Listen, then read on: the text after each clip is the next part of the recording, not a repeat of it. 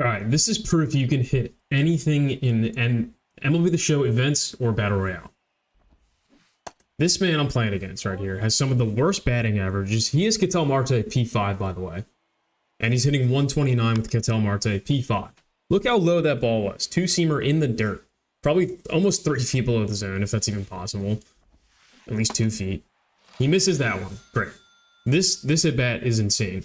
Now, it like I get it's on All Star difficulty, but there's got to be some sort of if you swing too early and it's that far below the zone, it's a miss no matter what the difficulty is. There's got to be something in place because some of these pitches are just crazy.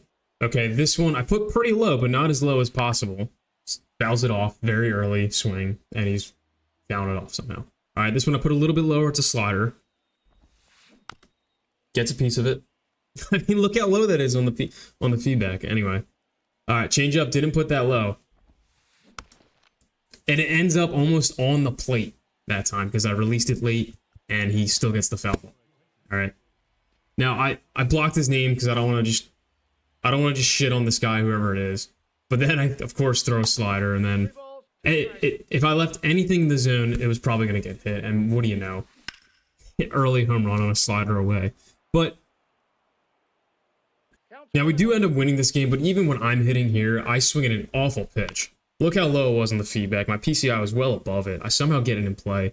I mean, at least my timing is good, but still, there's got to be something like no matter what difficulty, you can't hit a ball if it's that low or that out far out of the zone, and your timing's not.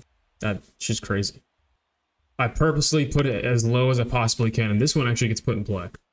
Um, so yeah, but hopefully this is something they can fix for next year, even if it's in a like this is the this is the event too. This is the moonshot event. This isn't like you know, playing against someone on veteran or rookie. This is at least all star, um, and it's still pretty glitchy. Now, this next opponent, he's hitting 554 with Mike Trout at P4. 554. All of this guy's batting averages were close to 500. So I don't know if he only plays events. That's how he gets them there because those do count towards your online batting averages. But then you'll see Mookie Betts, 498 with like 53 home runs at P5. Unbelievable the game somehow lets me win this game.